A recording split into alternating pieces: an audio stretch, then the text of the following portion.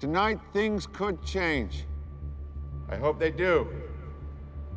And if they do, they'll change there and there. And my boys and I caught in a jar what before now has only flashed across the night sky. What say we unscrew the lid and see what happens? You ready? two,